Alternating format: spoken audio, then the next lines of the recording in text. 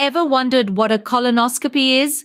Or perhaps you've heard the term thrown around in health discussions, but you're not quite sure what it entails?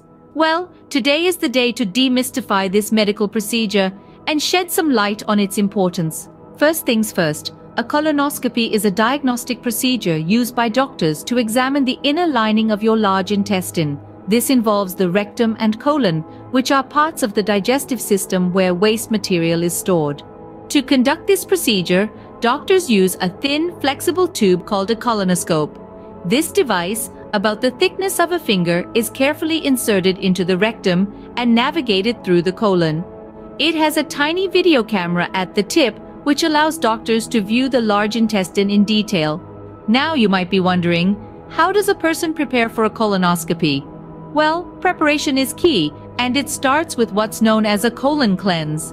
This involves a special diet and laxatives to ensure that the colon is empty and visible for the procedure. On the day of the colonoscopy, the patient is usually given a sedative to help them relax. The procedure itself takes about 30 to 60 minutes. During this time, the doctor can not only inspect the colon but also perform biopsies and remove any suspicious-looking polyps they may find. After the procedure, the patient is monitored until the effects of the sedatives wear off.